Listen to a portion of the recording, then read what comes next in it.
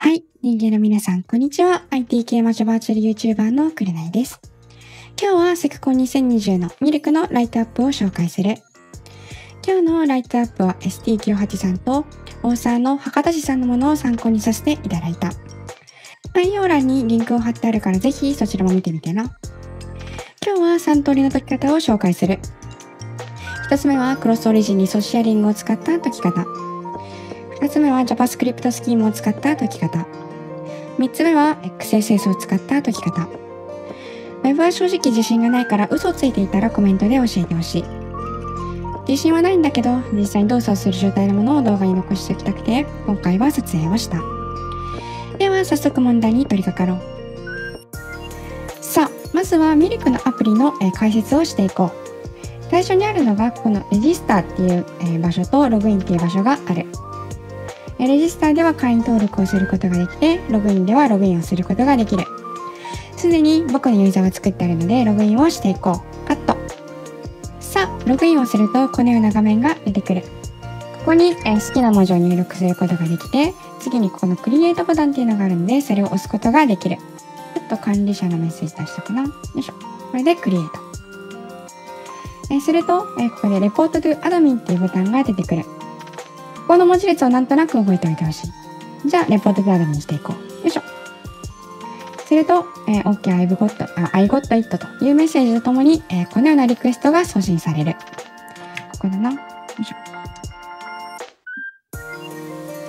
えーレポートに対して、えーこのような URL を送信する。ここの文字列がさっきの文字列と一致していることがわかるかな。えーレポートに対してこの URL を送信する。すると最終的にアドミンはこの URL を見に行ってくれる。さあ、このミルクで特に知っておいてほしいのが、ここのクリエイトボタンを押した直後のけど、実際に押してみよう。すると、えーこのようなリクエストが走る。まずは、えーここに対してレッドリクエストを飛ばす。その後に、えー、シーサーフトークンホゲホゲという、文字列が付け加える。この文字列は、えランダムな文字列。そして、えここの返り値は、よいしょ。このような文字列になっている。で、えーここのトークンが入っていて、このトークンを、えーさらに、このミルク API の NoteGet という、えー場所に送信している。ここだな？えーさっき受け取ったトークンをここで送信している。で、その返り値が、えーこのようにホゲというメッセージになっていて、さっき送信したメッセージが、えーここに、えー出るという仕組みになっている。では、えー実際にソースコードを見ていこう。まず、えーここの URL にアクセスされたタイミングで、えーここの PHP が呼び出される。ここの PHP では、えーな中にこの c s a f トークンの、えースクリプトソースが含まれていて、このページが読み終わった最後にこれが執行される。で、えーこの c s a f トークンっていうのが、えーこのタイプスクリプトの root.ts になっている。まずは、えーここにユーザーのクッキーを取得して、で、えートークンも生成する。このトークンは UUID って言われるもので、えーランダムな文字列になっている。ここは必ず一致することはない。毎回違う値が生成される。で、トークンを生成したら、クッキーに含まれているユーザーネームとこのトークンを紐付けておく。で、えーここのボディにセットしてトークンを返す。返されたトークンはまたこの not.php に返ってきて、この CSAF トークンコールバックというところに呼ばれる。で、えーこのコールバック関数では内部で、えーこの受け取ったトークンをこの HTTP ミルク API や char second.jp の .get に対してこのトークンをつけてで送信する。送信されたトークンは次はここのえーっと node.ts の、えーこの use に入ってくる。トークンを受け取ってそのトークンに紐付けられたユーザーを、取得する。ユーザーネームが空だったら403を返すけど、まあ、ユーザーネームが空じゃなかったら、えーこのまま続行する。で、すぐさまこのトークンをデリートした後に、このトークンに紐付けられているユーザーの情報を取得して、この ctag.state.user というところに保存しておく。そして次にこのまま get に進む。get では、えーまずノートの ID を取得する。ID っていうのはこの 5F95 みたいなやつだな。で、ID を取得したら、えこのノートの情報をこの ID を使って取得する。で、えここの CTX レスポンスボディにこのノートの情報を付加して、そして最終的にこのホゲっていう文字列が返ってくるといった流れだな。さあ、それでは最後に送信した URL がサーバーでどのような解釈をされるかを説明していこう。ここで URL が渡されて、で、パケティアを起動する。まあ、ブラウザみたいなものだと思ってほしい。で、えーまずはセクコン、えーと、あとパスワードを使ってオーセンティケートを行う。で、えーここの真ん中は関係ないので、えー今回無視して、で、受け取った URL に GoTo する。というような文章が書かれてるな。ってことは、受け取った URL はそのままここにアクセスするらしい。まずは最初にこれの実験を行おう。さあ、それでは Webhook というツールを使って送信した URL が実際にアクセスできているのかどうかを確認してみよう。こんな感じでデータを送信する。Webhook の URL は今回は隠させてもらうが、その後にこのような、えクエリストリングをつけておく。なんかできるようにつけておくかな。で、えここに対して URL イコールデータとつけて、で、コンテントタイプは XWWW フォーム URL コーデット。これは、実際に送信されているものに合わせている。で、さっきのこのレポートに合わせて、えー同様にデータを送りつけると、えー、Webhook が反応して、で、さっきの文字列が出てくるはず。ちょっと待ってみよう。お、来た来た来た。後でここの動画に真ん中に貼っとくな。さあ、改めて、えー管理者は受け取った URL をどのように処理するかを整理すると、まずは、えー、Note.php を、えー管理者は取得する。で、その後 Note.php の中に含まれている C シャフトークンのリクエストを発行して、で、ここにランダムな文字列をつけておく。で、サーバーは UUID を作成してトークンを返す。で、えーその後トークンを受け取った、えークライアントはノートの中身を取得したいからもう一度リクエストを飛ばす。その後トークンを破棄してノートの内容を取得し、ノートの中身を表示する。なので、ランダムに生成されたトークンっていうのは、えーここのラインと、えこのラインの間しか生存してませんよ。ということを、え後で使うから覚えておいてほしい。さあ、ミルクの特性がおおよそ分かってきたところで、最後にフラグの取得方法を説明しよう。フラグはこのエンドポイントにアクセスすることで取得することができる。ただし、条件として CTX ステートユーザーがアドミンである必要がある。ここが true っていうのはどういうことかっていうと、えーここでさっき説明した推測不トークンを取得したユーザーっていうのが、 admin であるということ。つまりさっきの、URL を受け取ったユーザーだな。えそれがアドミンだと何が起こるかっていうと、トークンと紐付けられるユーザーがアドミンになって、で、えここで、よいしょ。ここで、えーユーズされて、この ctx.state ユーザーがアドミンになって、で、ここでアドミンがトゥルーにフラが獲得できるっていう流れかな。フラグの獲得条件が分かったところで、えフラグの獲得方法について説明していこう。これがさっきの URL を受け取った管理者がどのように動くかの簡単なフローの図になっている。えもしこの後に、え管理者をフラグを取得させるエンドポイントに叩かせることができた場合、このようなフローになる。これでもまだ、えー攻撃には成功しない。なぜなら、えーここでトークンを生成して、トークンがここで破棄されてしまうので、フラグを取得するためのトークンがバリッドではなくなってしまうんだよな。なので、大きく分けて2つの攻撃方法がある。まず1つ目がこの真ん中のリクエストを失敗させること。これにはクロスオリジンリソースシェアリングという機能を使う。そしてもう一つが、改めてトークンを取得し直させる方法。これが XSS や JavaScript のスキームを使った方法になっている。今日はこの2つ両方とも説明していこうと思う。まずは、えー最初のクロスオリジンリソースシェアリングを使った方法を説明しよう。さあ、クロスオリジンリソースシェアリングの、えー攻撃の準備を進めていこう。まずは、えーここでクリエイトボタンを押す。すると、えこのページに遷移するのだが、実はこの URL には2つの、え遷移方法がある。このように遷移すると、ね、エンジン X では、えーこのように解釈。よいしょ。ここだな。で、えーランダムな、えーレス、値がレスに入って、で、ID っていうのがこれだが、まあ ID がここにセットされる。つまり、えーここの node.php ID ですみたいな感じで、えー、アクセスしてもいいということになっている。じゃあ、アクセスしてみよう。よいしょ。ID はちょっと省略するな。このようにアクセスしても大丈夫。で、ID は省略して、で、えー、レスに適当な値を入れる。ほら、このように、まあ、少しバグってしまったが、えー、この画面に遷移することができた。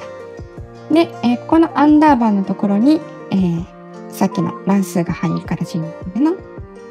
で、えー、ここでもう一つポイントがある。管理者の画面を出しておいて、一回ここで画面遷してみよう。まあ、エラーメッセージは出るが、このようなエラーメッセージだな。で、この JP の P の後にピリオドをつける。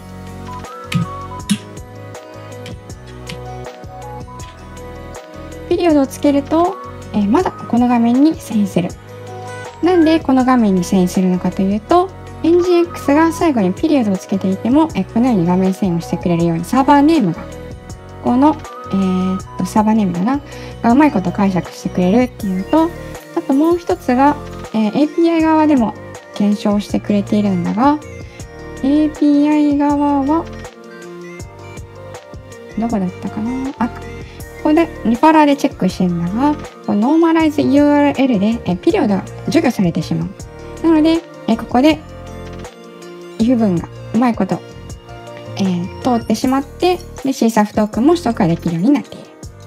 でその結果、えここで CSAF トークンが取得できるようになっているで。エラーメッセージを見てみると、2つ違いがあることがわかるかな。ピリオドを入れるときとピリオドを入れないときで2つ挙動が違う。ピリオドを入れると、えー、ここに新しいエラーメッセージが追加される。has been blocked cross origin resource policy と見にくいかな has been blocked cross origin resource policy という風に出ている。これがクロスオリジンリソシェアリングを使った、え攻撃方法になっている。ここにピリオドを入れるだけ。なんで、えこれをピリオド入れると、このようなエラーメッセージが出るのかを紹介していこう。実は API の返り値に注目してみると、Access Control Allow Origin っていう風なヘッダーが付け加えられている。で、URL がこんな感じで書かれている。これは Origin とも言われるもので、ここがスキーム、で、ここがホストネーム、あとポートがつく場合はポートがついて、それが1セットで Origin と言われている。これ何を表しているのかっていうと、えこれかこれの、え、返ってきたレスポンスっていうのは、ここのオリジン以外には使えませんよというふうな意味になっている。なので、さっきの、え、ドットがついた URL からここにアクセスして、でこれの返り値を使おうとしても、ドットがついてるオリジンと、このオリジンは別物ですよというふうに解釈されて、ブラウザがブロックするといった流れになっている。この、えー、クロスオリジンリソシエリング、フォースっていうのかな、えー、っていうのは、えー、ブラウザの防御機能になっているんだよな。で、改めてこの PDF で説明すると、えー、まず、https ミルクチャル .second.jp っていうところでアクセスした人が CSAF ドット、CSAF トークンを取得したいですというふうなリクエストを送った場合、このようにアクセスコントロールアローオリジンというものが付け加えられてトークンが返ってくる。で、これを解釈したブラウザっていうのは、このトークンっていうのはこれ専用だからとこのピリオドがついたものには使えませんよというふうに解釈してしまってトークンが使えなくなってしまう。トークンが使えないのでここのリクエストができなくなってしまってトークンが破棄されずにこの最終的に生き残ったトークンが生成されることになる。さあ、このようにすると真ん中のノートを取得したいというふうなリクエストを失敗させることができるのでトークンを生き残らせることができた。すると真ん中のリクエストを消してもいいのでこんな感じになって、でもまだ一つ懸念点があるんだよな。何が懸念点かというと、ここ。今回は XSS を使わないと言ってるんだが、どうやってこの XSS なしでこのノートフラグを獲得するかっていうことになってくるんだよな。これは実はキャッシュを使用する。さあ、それではキャッシュの性質を確かめるために実験をしてみよう。叩くのはこの CSAF トークンのエントここを何回か叩いてみる。この内部のロジックっていうのは、URL を受け取って、まあ、その長さの検証をしているのが、URL に関わらず、この UUID でトークンを生成しているので、同じ URL でも違うトークンが出てくる図。えー、一回叩いてみよう。よいしょ。よいしょ。予想に反して同じ UUID が生成されている。この内部のロジックを通っていれば、え違うトークンが出てくるはずなので、これはなんとなくキャッシュされてそうだな、ということが予想される。ここでこのエンジン X コンフを見てみると、確かにここでキャッシュの設定がされてあって、つまりここの API の結果っていうのがここでキャッシュされてますよっていうことが、えここのエンジン X の設定からなんとなくわかる。つまり、えー、サーバー側で別の場所でこれを叩いて、えー、ローカル側でも同じこの URL を叩くと同じトークンが取得できるということになっている。では攻撃コードの説明をしていこう。まずはランダムな文字列を生成する。で、次にやるのがこのピリオドをつけて管理者と、えー、トークンを紐付けをして、なおかつトークンを使用されないようにする。これで crossorigin use use-credentials っていうのをつけて、 cross-origin resource sharing を強制する。で、この URL を報告することで、管理者がこの URL を踏んでくれる。URL を踏んでくれるまで10秒間待機する。待機した後に、えー、管理者が踏んだであろうシサフトークンの URL と同じものをアクセスして、で、同じトークンを取得する。これをキャッシュされてるから同じトークンが取得できるんだな。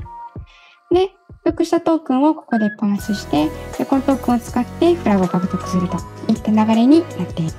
では実行してみよう。間違えた。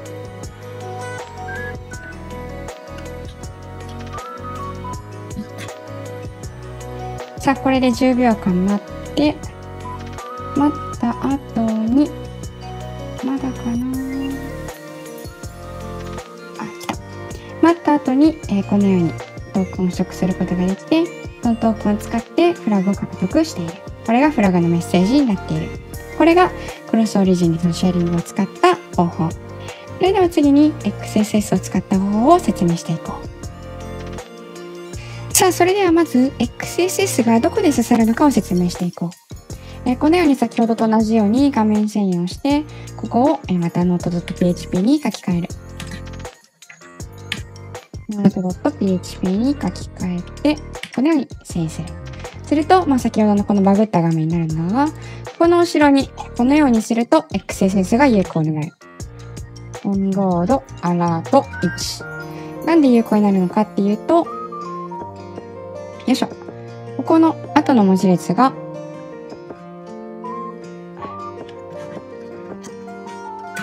で、オンロード、アラート1ぐらいからな。これで、えー、このスクリプトがロードされた瞬間に画面が出てくるはず。じゃあ一回実行してみよう。よいしょ。あ、間違えた。よいしょ。パーセント20のオンロード、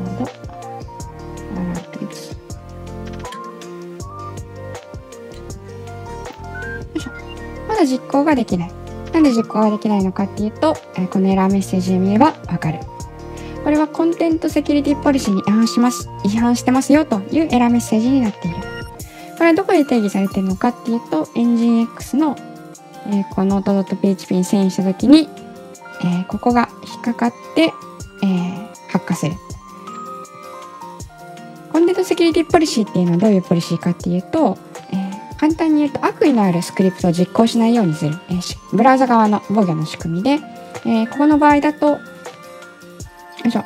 えー、ミルク API と、えー、あ、間違えた。セルフと、あとはミルク API と、あと jQuery。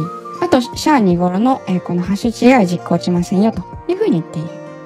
えー、ここの3つは、えー、見たらわかると思うが、これは何を表しているかっていうと、Node.php の、えー、ここのスクリプトを表している。つまり、えー、ここで仕込まれたアラート1っていうのは、さっきのどれにも含まれないので、えー、コンテントセキュリティポリシーに違反しているから実行できませんよという風なエラーメッセージなんだよな。じゃあ、ここで、え、どうやって XSS を指すかというと、ここでこのような文字列を追加する。すると、このようにアラートが出てくる。なんでこうすると出てくるのかを説明していこう。なぜ末尾に .php を付け加えると XSS が刺さるのか。そのヒントは nginx のファイルにヒントがある。ここだな。まあ、このような URL を渡す。すると、え末尾が .php で終わっているので、ここに入ってくる。で、この FastCGI スプリットパス info っていうところで、えまず最初に .php が現れるところまでパスする。で、残りはパス info というところに入る。だからこんな感じかな。えー、っ、このスクリプトファイルネームっていうのが、よいしょ。ファイルネームっていうのが、えー、っと、ドキュメントファイルルートと、あとはこの note.php まで。よいしょ。で、パスインフォがこうなる。ドキュメントルートっていうのは、えー、ここを表していて、スクリプトファイルネームっていうのがここを表している。で、えー、こっちは .php だな。で、えー、そうなると、えー、スクリプトファイルネームがうまいことこの Node.php を表すことになるので、うまいことこのページに遷移してくれる。つまり、ここの、えー、Node.php の後ろが何であろうと、何であろうと、何であろうと、えー、末尾が .php でさえ終わっていれば、えー、この画面に遷移してくれる。で、次のポイントがここの if 文。えー、 document URI が、えー、Node.php だったら、えー、この Content Security Policy のヘッダーを追加しますよというふうに言っている。今回ドキュメント URI っていうのは Node.php の、えー、スラッシュ .php であれば、えー、このようになるから、えー、これと Node.php は異なるので、えー、ここの if 文は追加しない。なので、 Content Security Policy が適用しないようになってしまうんだよな。そうすると、コンテントセキュリティポリシーが適用されない Node.php がここに降ってくるので、アラートが通るということになる。そうすると、最終的に、えー、これでは通らないけど、間違えた。えー、っと。これでは通らないけど、えー、ここでの、えー、スラッシュ .php を付け替えるとアラートが出る。という風な状況になるんだよな。NGX の設定はなかなか難しいんだよな。さあ、ここまで来ると、あとは JavaScript のコードを書けば管理者が実行してくれるので、そのような JavaScript を書いていく。しかし一つ縛りがあるんだよな。数字が使えないんだ。なんで数字が使えないかっていうと、えー、ここの note.php の、ここにヒントが書いてある HTML スペシャルキャラクターズとプレグプレグリプレスっていうのがあるんだよな。ここで数値が空になってしまうので、このスクリプトの中では数値を使うことができない。不幸なことに僕は数値がないドメインを持っていないので、この Webhook のサイトのこの、えー、なんちゃらなんちゃらなんちゃらなんちゃらのみたいな、この数字の部分を何とかして数字なしで表現しなければならなかった。ここがとても難しかったんだよな。幸いにも JavaScript は型が結構曖昧な言語なので、そこはうまいことバイパスすることができた。ナンバートゥルーとやると、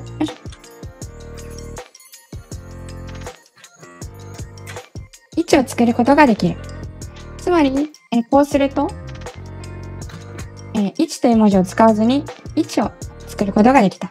で、当然 n 低いは0なので、えこうすると0を作ることができる。